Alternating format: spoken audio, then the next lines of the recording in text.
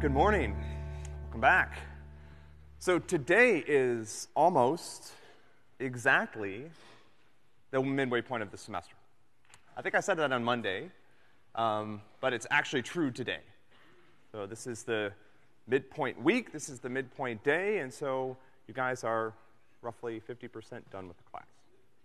So I'm going to take this as an opportunity to talk a little bit about what happens next for the next two months, roughly. It's almost exactly two months until you'll be demoing your final project Android applications at our final project fair, which is going to be awesome. So um, there's a lot, we still have a lot to talk about. There's a lot of cool things to do. You guys are still going to learn a lot over the next half of the semester, uh, but it's kind of a fun point to, to take a step back and talk about where we've come and where we're going. So let me talk a little bit about content first. Talk about content, and then we'll talk a little bit about the assessments, um, because we're kind of at the 50 point, 50% point for both. So what we've been doing up till this point, and this is kind of one of the last couple lectures that we're going to do, uh, entirely devoted to object-oriented programming, although we will introduce some new ideas in that space as we start to talk about other things. Um, but that's what we've been doing up till this point. So the past, you know, two months, we've been focused on introducing you to object-oriented programming and imperative programming. Those are ideas that we'll have a chance to keep practicing.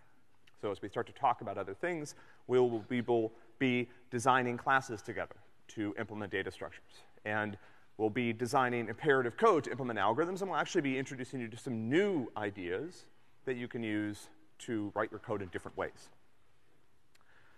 So what we start talking about next week, and we continue talking about for the balance of this semester, um, and these are super fun topics. In many ways, what we have in front of us is a lot more interesting and exciting, I think, than what uh, sort of we have behind us. What we have behind us is a lot of sort of skill building.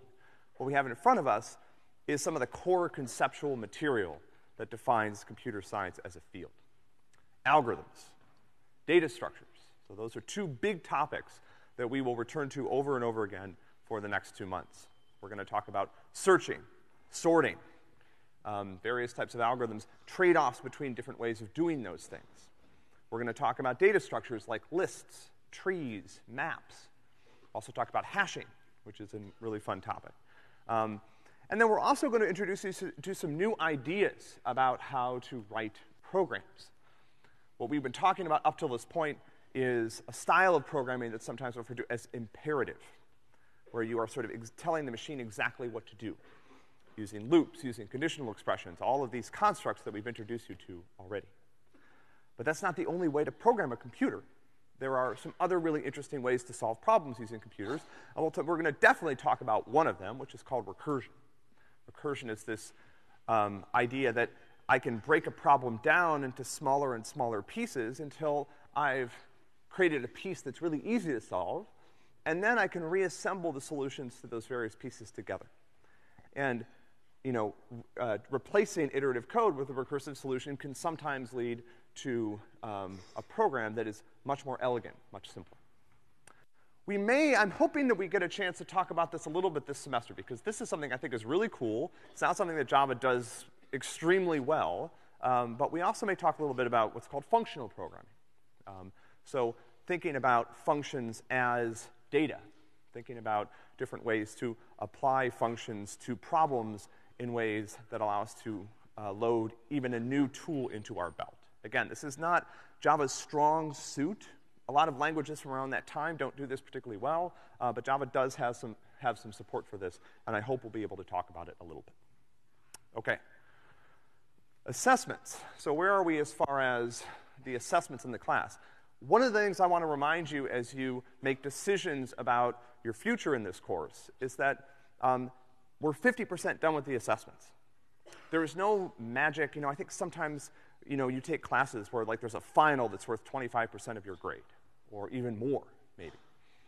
And unfortunately, I think that sometimes leads to sort of magical thinking right? Like somehow I'm not doing very well in the class, but I'm to go in and take the final. I'm to have this day where I remember everything, uh, including things that I don't understand about the class. I'm to do really well in the final, and that's to save my grade. Um, 125 isn't structured that way, and it's not structured that way on purpose, because the way you learn this material is by consistent daily practice. That's why we've been doing daily homework. That's why we have you working on MPs pretty much from the day you start the class till the day you finish. That's why we have quizzes every week. That's why we have, and that's why this semester we decided to break up the midterm, the uh, previous final exam into these three pieces. So essentially, we're halfway done with the assessments. And what comes in front of us is very similar to what you've already done. So please don't think that somehow, you know, if you're, if you're really struggling at this point in the course, it's unlikely that things are going to change. Maybe something changed in your life that I don't know about. That's fine, right? That happens, and you know that can produce a dramatic improvement in performance or a dramatic, you know, decline in performance. So I don't understand what's going on in your life. Um, so maybe that happened, but you know, if there, if you don't see a major change going on and you're really struggling to keep up, um, it's probably not going to get better. Um, so you might want to think about, you know, uh, dropping the class, given that the drop deadline is Friday. So what have we done up till this point? So we've essentially done three short MPs. Those were MPs 0 through 2. Those were one week. Um, we did a long MP, and we did a midterm. I'm not talking about the quizzes and the homework here because those pretty much divide evenly front to back. So we're going to keep giving you daily homework problems. We're going to keep giving you weekly quizzes. Those are not going to change. There's a small change, though, in terms of how this works, because what we're going to do for the next half of the class, so uh, we started MP4 on Tuesday morning. That's a two-week MP. And then we're going to have a little bit of a break for the second midterm, and then you're going to work on another two-week MP. And then when we come back from Thanksgiving, that'll bring us up to Thanksgiving break. When we come back from Thanksgiving, you'll be doing a final project for the balance of the course. And I think you have about two, two and a half weeks to do that final project. Um, the final project cannot be dropped, but you don't want to drop the final project because the grading is very generous.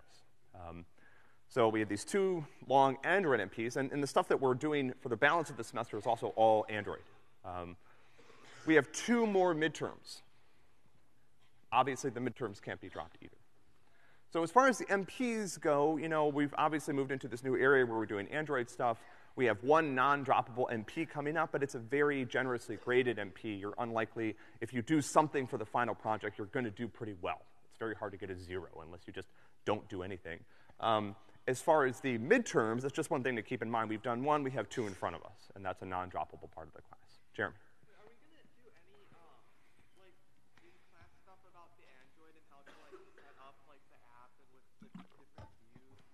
Yeah, so we're probably not going to do too much Android content in class. Um, we will talk about Android in lab. So we have a couple of upcoming labs where we're going to introduce you to more Android ideas. So, you know, the, what we did this semester, actually, that's a good chance for me to talk about this a little bit. So we started MP4 on Tuesday. Um, it's an Android MP. And I suspect a lot of you are like, what is going on? And, you know, if you thought the code you were looking at before was confusing, the starter code we gave you, um, you know, your, your brain is probably exploding as you look at some of the stuff that we've given you for Android. So what we're doing this semester is we're trying to do this a little bit more slowly. Last semester we started with Android in the class, but we did it at the very end. And so what we're going to do over the next couple MPs is we're going to sort of let you get your feet wet with Android step by step, little by little, while you complete sort of the library part of the MP. So there are no points on this MP for anything related to the app. I hope that you, you will get the app to work, uh, because it's fun once it works. There's a little bit you have to do to get the app to work fully, but there's a lot of code there that you can use as a starting point. On MP5, which would be our next Android MP, we may ask you to do a little bit more work with the application. On the final project, it's up to you. You know, you have a blank slate. So our goal is within a month, within the next couple MPs, and there'll be some labs in there as well, to bring you up to speed on Android to the point where you can build a small app for your final project. That is possible. Trust me. Um, I can actually, probably what I'll do later today is I'll post a link to the FAIR page from last semester, and you can see some of the final projects that students last semester did. And those were students that had, that will, that, that had had, by the time they got to that point, less exposure to Android than you will.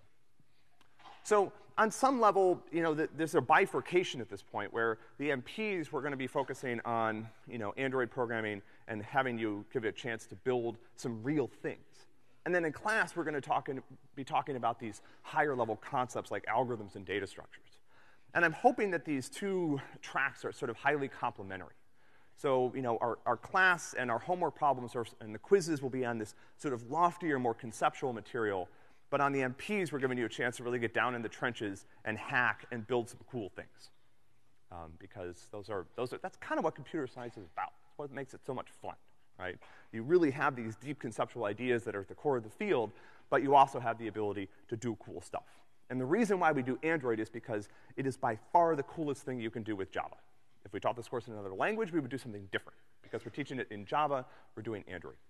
Um, it's simply, again, the easiest way to build something real, to something that you can show to a friend, right? Something that you can actually deploy and get, you know, billions of people to use. Okay. Questions about this? Oh, I want to point something out. You guys are doing well, actually. Um, I hadn't looked at this for a while. Um, so without DRAPS, the median grade in the course is about an 82, right? That was with the first, you know, nightmare midterm. Um, average is about 79, so that's, that's pretty good. With drops, the median grade is a 94, right? So that's good. If you keep this up, I will give out a lot of A grades in December, and I will be totally happy to do this. We're going to post these scores later this week. We're going to post information about where you are in the distribution. Um, one thing I want to point out to just be careful about. We've applied, this is with all the drops that you have for the entire semester. So, you know, what might happen here is that you might, might look like you're doing pretty good with the drops, but you've taken like six quizzes and you can drop three, so we've dropped half of them. You have six more quizzes that you need to take roughly, and you can only still drop three, right? So particularly if your score with drops is quite different than your score without drops, you just want to be aware of that, right? Uh, because you know, you've kind of used up all of your dropped grades for the semester. If you get a couple of really bad scores, that your, your score is going to start to come down. Right, but, but I, was, I was pretty happy with this. This is good. Uh, people in the class are working hard, and that hard work is, is showing up, is paying off in, in, the, in the scores. Right, so, so we're going to have, we're not going to have midterm grades up on the official portal, but we will have um, a score for you and a, and a way for you to see yourself within the distribution of other students in the class. That's what I care about. Um, I, I don't want to talk about letter grades at this point in the semester, but I want you to see here's how the class is doing, here's how I'm doing. Right? And we'll, we'll have that for each grade component. It's a good time to answer some questions. Oops, sorry. Um, right, so, and the reason we're doing this this week, obviously, is the drop deadline is coming up. Um, you know, I, I don't want you to continue in the class without knowledge of how you will probably end up doing in December. You know, I'd, I'd much ra rather have a larger number of people drop the class and not have to fail people. All right, so we're going to put this information in front of you. It's up to you to make use of it. Again, there's, there's probably not, I, I just want to warn you, if you're doing poorly, there's probably not some magic thing that's going to happen between now and December that's going to, to change things for you. Okay. Finally, I want to point something else out, which is that nobody seems to have found or used this this semester, but if you have feedback that you want to offer about the class, you can obviously post on the forum at any time, and we can have a conversation about it there. Um, if you want to post it anonymously, there's a form on the website looks like this. This thing, you know, I had such high hopes for this thing. It's not, not really living up to it. Um, so here's the anonymous feedback form that's on the website. You can use this to, you know, say anything you want. It's just an open box. There's no information about you that's recorded when you submit it. I read these from time to time. Um, and, you know, if appropriate, I will respond on the forum, but we certainly look at all these posts and we think about what you say carefully. So if you have comments you want to offer, I mean, obviously, I, I, like it most when we can have a conversation about things on the forum because I think that helps everybody get on the same page. But if that, you're not comfortable with that, um, this is another way to talk back to us about how things are going. All right, questions at this point? Let me just sort of throw the floor open for anything, any concerns or questions that you might have at this sort of midway point.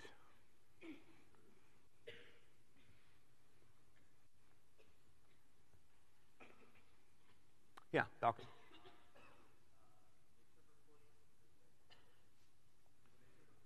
Oh, good point. No, there's no extra credit that's been applied yet. So these scores are all also without extra credit. Good, good question. We, we, I'll probably at some point add that, but I, no promises on when. Yeah.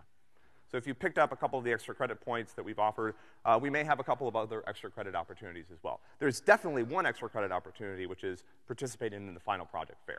If you do that, there's a percentage point in it for you. Yeah, in the back. Can we play capture the flag?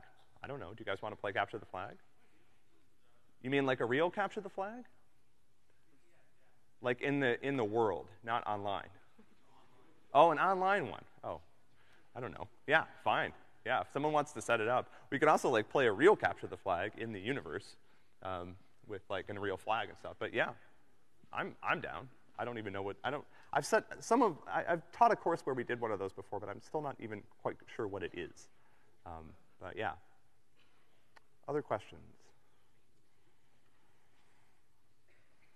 Okay, good. So, I want to review one of the homework problems. Time to time we do this. And, you know, I, I do watch discussions on the forum, and from time to time I feel like, now it's always interesting to me what you guys struggle with sometimes on, on these homework problems. And so I want to look at this one, and I want to make sure that we're all on the same page about how to do it.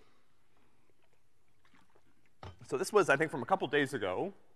It asked you to create a class that had a single class method or a static method that takes a Boolean argument, and essentially what you're supposed to do is, if the Boolean argument is true, it should create a new creator and return that. If it's false, it should return the last instance of the class that was created. And so the, one of the reasons we're talking about this is I saw some ways to do this on the forum that um, I found concerning. So let's look at this. And again, I, I don't, I'm not going to pick on anybody, but I want to I want to post one solution. All right. So, and, and this, this was not an uncommon way to solve this problem.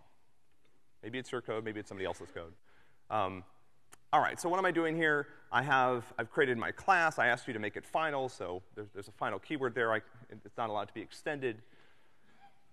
I have a reference variable called creator that's a static reference variable, and that I need. That stores a reference to the last created object. What is the initial value of this instance, this static variable, this class variable? It's an object reference, so if I don't initialize it, what's its initial value? No. So this is kind of equivalent, and if I wanted to be more explicit about this, I could set it equal to null. But those, those two statements are equivalent, okay? I have an empty constructor, which I, which I actually don't need. I'll get rid of this. Uh, remember, if you don't provide a constructor, you get that empty constructor by default. So I don't need to, to explicitly provide a constructor for the object. Um, all right, so now I have my new or old method. It's a static method. It takes a Boolean as an argument.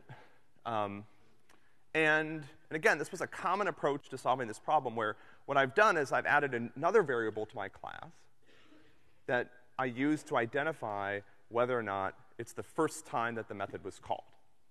So if it's the first time, if I've never been called before, I set it to true and I return null. Otherwise, I look at the flag that's being passed to the uh, method, and if the flag is true, I create a new creator, I save the reference to it um, in that static reference variable that, that I created. Um, I mark that this was, that I was called, and I return a reference to the new creator. Otherwise, I just return the old creator. Okay? So this works. This, is, this was a correct solution. But it's got some pieces on it that are unnecessary. So who can give me a suggestion about how to clean this up a little bit? Yeah.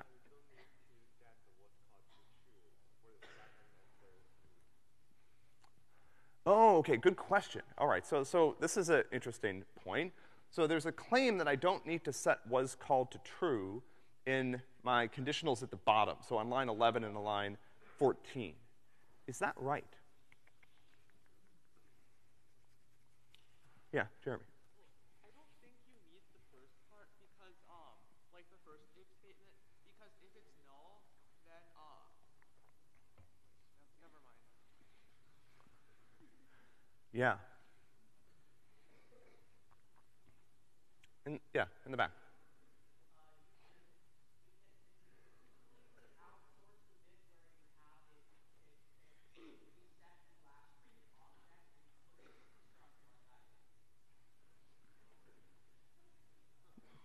Okay. Other suggestions? Yeah.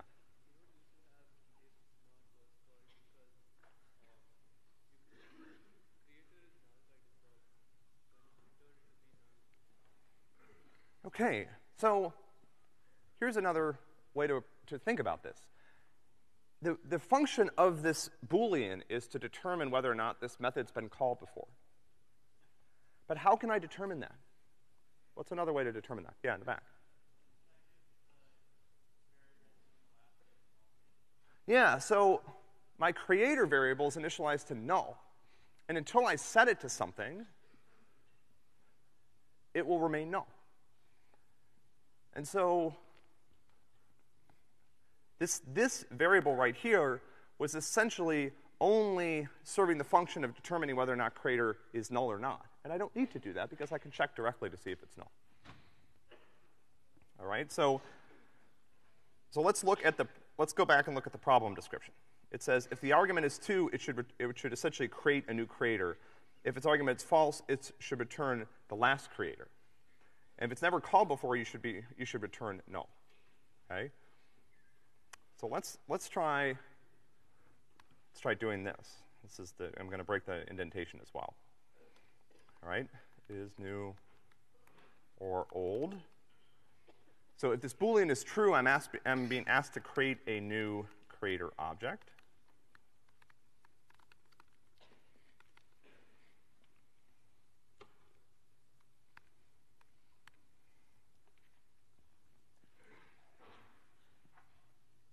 Okay.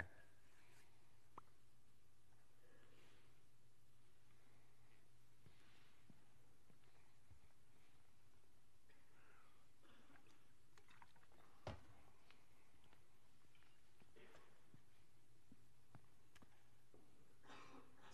Does this work? Yeah, sure. Because if you call it with true and it's the first time, you return a new creator and not null. Right? Ah, okay. So this is a, this is a good this is a good point, right? So the the question says if the argument is true, it should return a new creator instance. If the argument is false, it should return the last creator created by new or old. All right? So there's so there's this um, there's some ambiguity in the specification here, isn't there? Right? So the, so the question becomes, if new or old has never been called before, you should return null, but how does that interact with the statement about the argument being true? So what this says is, if the argument is true, it should return a reference to a new creator. But it also says it's never been called before, it should return a reference to, uh, it should return null. So how do you square those two things together? Any ideas?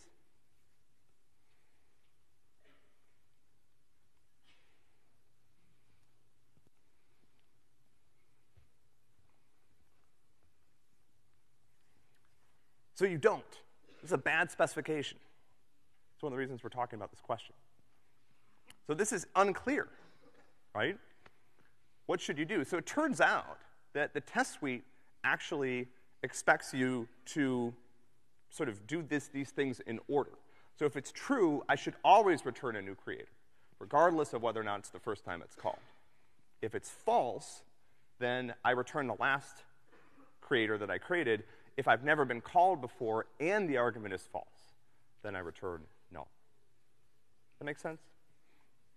So in this case, this solution works.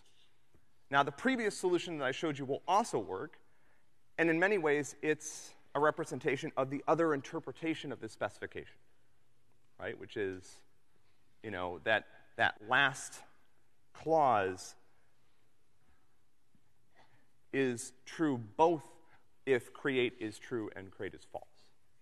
Does this make sense? So I'm not going to claim that this was intentional. I'm not that clever.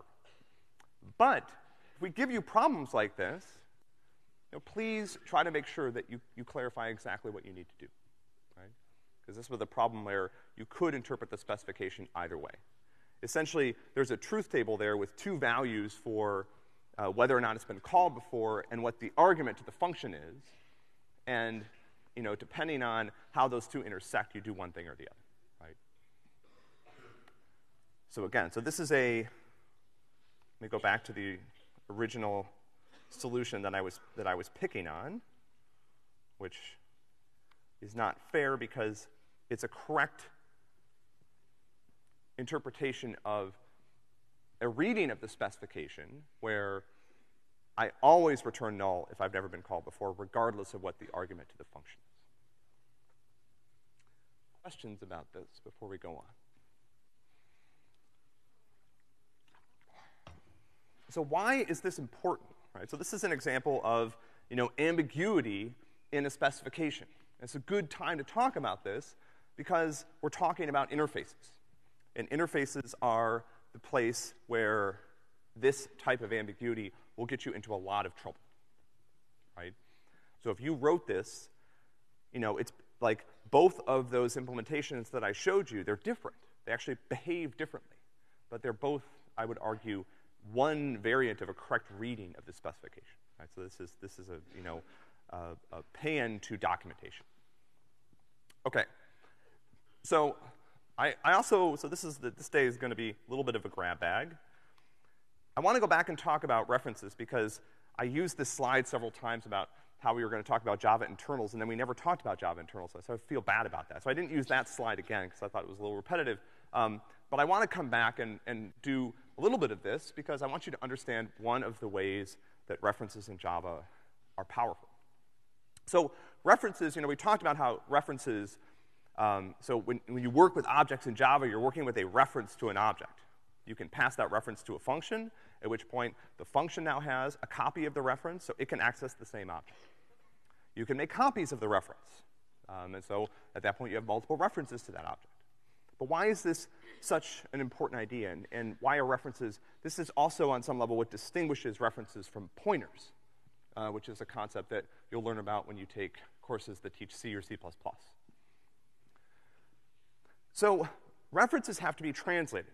So when you, you know, when I take a phone number and I call it, I punch it into my phone, what the phone company is doing is it's translating that reference. So it takes that number that I gave it, which is a reference, and it essentially goes through a process where it looks up like what device on my network is supposed to ring when I call this number. And so some of you may have gone through the process where you had an old phone and you go in and you get a new phone. And the reason that you can keep the same phone number is that the phone number is just a reference. And so what the phone company does internally is it says, okay, I'm gonna adjust how I translate that reference, how I dereference this particular piece of information, and I'm not going to have it ring your old phone anymore. I'm gonna have it ring your new phone. So this is the same thing that happens when you go to a URL. So every time you go to google.com, there's a process where that reference is being translated into another identifier. And sometimes, actually, you can go to google.com multiple times in the same browser and maybe even see that that reference is translated differently. Right? You know, Google controls the, so at some point when you go to a web page, you're communicating with an actual physical machine. But which machine you communicate with can change, even if you use the same reference. So again, so I can, I can move things, right? I can move phones from one number to another. I can also block stuff. So the phone company, if you don't pay your bill, the phone company will say, I'm not going to translate this reference anymore. When someone calls you, I'm going to give them some sort of message that says this phone number is no longer in service or this person is a bad person and hasn't paid their bill or whatever the message says. I don't know what it says. Right? So I have control of this because I control the reference. Right? In Java and in a number of other languages, we also do something else with references, which is we use them to manage and control the memory usage of your program. And this is, again, not something that we're going to get into in great detail, but it's really interesting and fun. So you may have noticed something, which is that Java has no delete keyword. So I have new. What does new do? New creates a new object. And in order to store the state that that object has, I have to get some memory. somewhere. So some little chunk of one of those sticks of memory that you stuck into your machine or that someone else stuck into your machine is now devoted to storing the data inside of that object, the state. But what happens to those objects? I mean, I, I have new, which creates a new object, and then I do some stuff with it, but shouldn't, at some point, shouldn't I tell Java that I'm done with the object, that I'm finished, I don't need it anymore? If I don't do that, what's going to happen? Say I have like a, a program like IntelliJ, it's written in, written in Java, and you've been using it for like a couple of days because you're like, you know, really working hard on one of the MPs. And as you go along, it's always calling new to create new objects. Every time you open a new file in the editor window, there's probably a bunch of objects that get created, whatever. So over time, what would happen? I keep, you know, you keep saying I need a new object, so Java goes and finds some memory somewhere. After a while, what's going to happen? Maybe this has happened to you on your own machine, experientially. If I never put that memory away, yeah. Yeah, you only have a certain amount of memory. You have a lot of memory in your machines today, just an enormous amount, but it's still limited. It's not infinite. So at some point, you may have noticed this like, you know, if you open up like 70 browser tabs, or 100 browser tabs, or 1,000 browser tabs, right? You know, or you have a, like, you have a machine that maybe has some, it's like a lightweight, you know, um, netbook type thing or something, and you open up a bunch of programs, it starts to slow down a little bit. So you only have a certain amount of memory, and if I keep just using it for new stuff, and I never delete anything, then eventually I'm gonna run out. And things are gonna start to get slow. Things are gonna start to get bad. This is something you will learn much more about when you take later classes. One of the things that Java was a pioneer at, again, Java is an old language, but one of the things that it did that was relatively new for a big, widely used commercial language is something called garbage collection. And that's pretty much what it sounds like. From time to time, as your program keeps running, there are objects that you're not using anymore, and Java will automatically reclaim the memory that they're consuming. So that ensures that the memory usage of your application doesn't just increase towards infinity as time goes on. How do we do this? So, for example, this is a program that I can run in Java. Okay? What does this program do? I could run this program in Java and I could leave it running and I could go away for the weekend and I could come back and it would still be running. What does it do? It's kind of a silly little program. So what do I have on line two? This is a good, good for loop syntax uh, review. Yeah, in the back.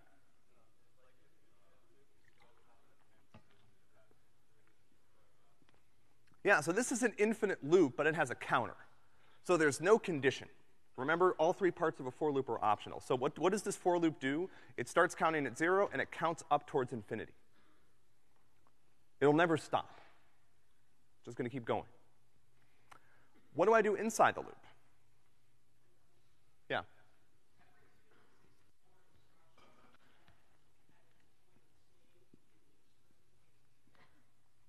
So what happens on line three?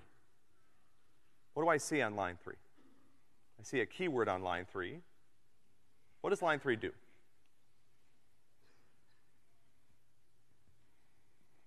Yeah.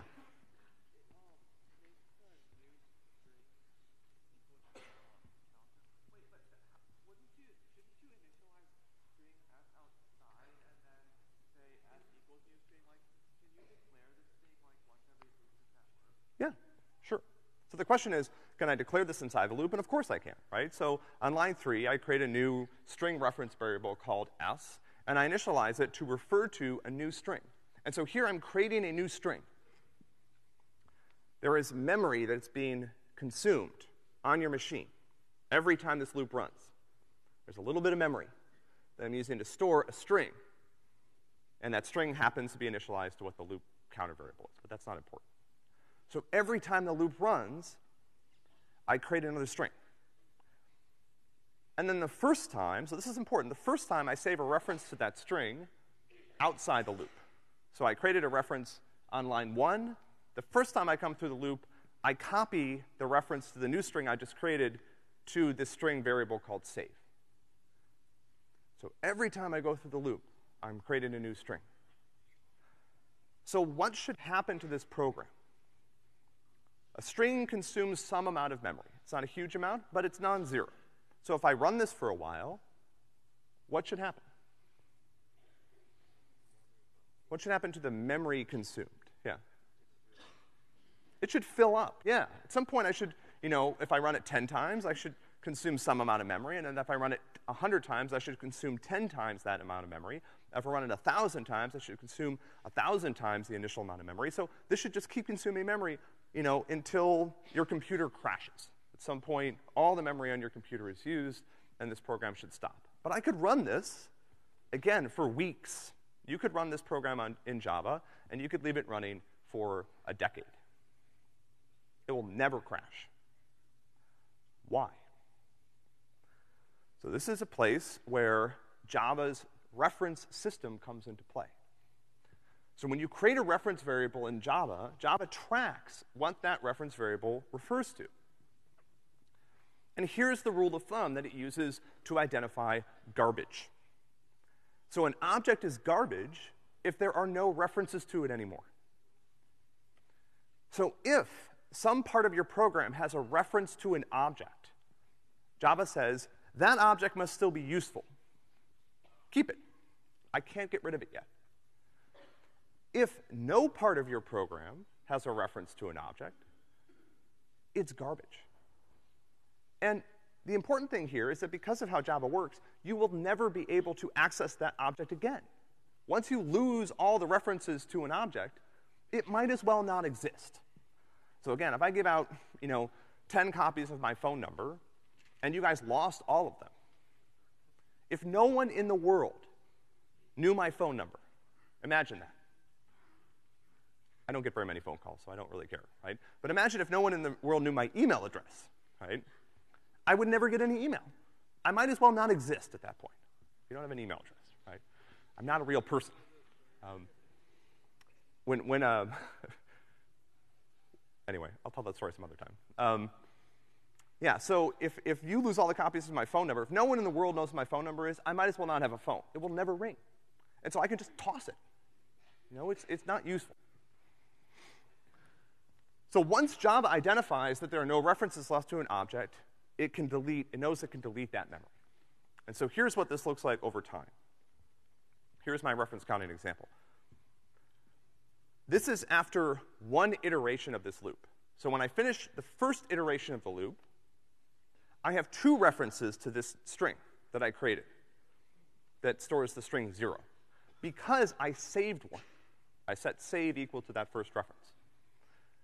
Now, if I run it again, here's what it looks after two iterate inside the second iteration. So inside the second iteration, save is still referring to that first string, but this reference variable s inside the loop refers to this new string with a value of 1. So this is at the end of the second iteration of the loop. What do things look like at the end of the third iteration? So at this point, if Java said, is there any garbage in the system? The answer is no because both of my strings still have a reference to them, so I can't get rid of them. However, once I run this loop one more time, now look what things look like. So now I still have a reference to that first string I created the first time to the loop. I have a reference to the string I just created, that third call to new, but I have no reference to the second call to new. And if I run it again, this keeps happening. So inside the loop, I keep creating new objects, saving that reference variable to this local variable that's inside the loop, and then immediately forgetting about them. And this may seem dumb, but there are a lot of loops like this that you're going to write, where you use a variable internally, you do some work with it, and then you're done with it. Next time the loop uh, restarts, you create a new one. So eventually, and this doesn't happen all the time, but eventually, Java does something called garbage collection. It runs a, uh, an internal process called a garbage collector. And the garbage collector goes through your program. And it looks for any objects where there are no references to them. So again, at this point in the program, if I wanted to do something to that second string I created, the string that had value 1, or if I wanted to do something to the third string I created, the string that had value 2, there is no way I can do it because I don't have a reference to it. They're gone. They might as well not exist. And when the garbage collector runs, after the garbage collector runs, they won't exist anymore. Because what Java is going to do is it's going to say, aha, you are done with these objects. I know that because there are no more references to them. And therefore, goodbye. So I'm going to free these objects, and now whatever memory they were consuming can now be reused for something else. It's no longer needed to store this data, and so I'm going to free it, and I'm going to make it available to the program to, as it continues to run. Questions about this? Yeah.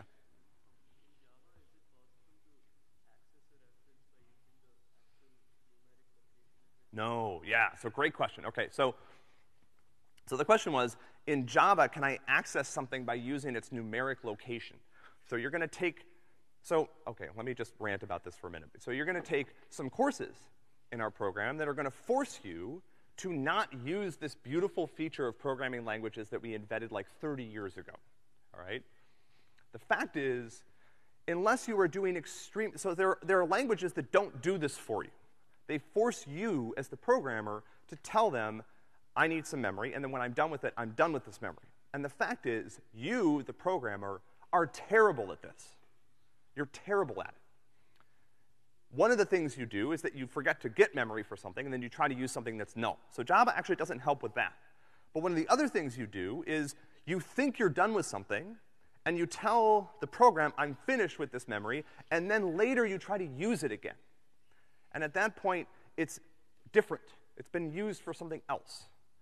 And so these types of problems with memory management are the source for like lots and lots of bugs in computer systems. And that's why we stopped using languages that force you to do that, except in some of our courses. No, I'm, I'm, being a little facetious. There are reasons to do this sometimes. There are tiny little performance improvements that you can get. But in most cases, if you use Python, if you use Java, JavaScript, Go, uh, Rust has its own way of doing this. It's different, but it still forces you to think about it. Um, you don't have to think about memory management anymore because there's a part of the program that does it for you. So what does this mean? So in Java, what this means is that there is some memory somewhere in your program that stores string 3. And in other languages, you can get something called a pointer. You can get a numeric reference to it. That's the memory address where this lives. Java does not allow you to do this. And the reason is this. By every time you use a reference variable in Java, it's doing this translation automatically for you. And that allows me to make sure that, um, it, I mean, in Java basically allows you to track whether or not things are in use, right?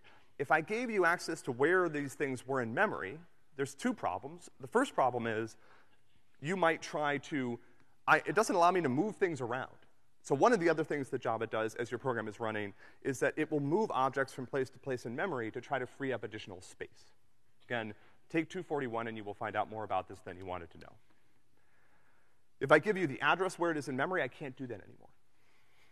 The second thing is that if I give you the address of where something is in memory, you can still get to it even after the reference is no longer there.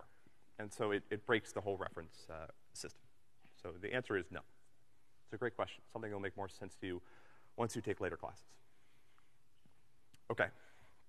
So again, this is, you know, hopefully this, you know, explains a little bit about what Java does. And again, this is one of the features that when Java introduced it was incredibly important. So when I took intro programming years and years ago uh, as, a, as a sophomore in college, I remember, you know, fighting through my first course. It was in C, and there were all these segmentation faults, and like a lot of times things didn't work, and it was usually because of problems with memory management. And then I took the second course in the series, and they taught us Java. They actually taught us three languages, but they taught us Java.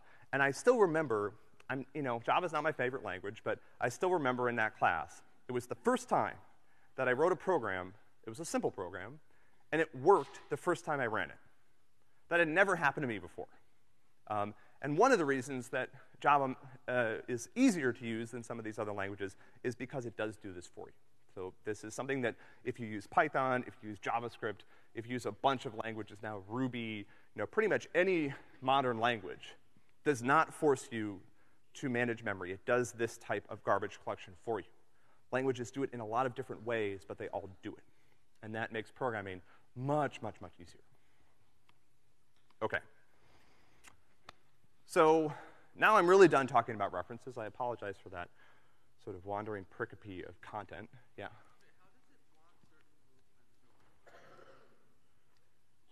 Can you ask the question again? It says um, it blocks translation in certain cases.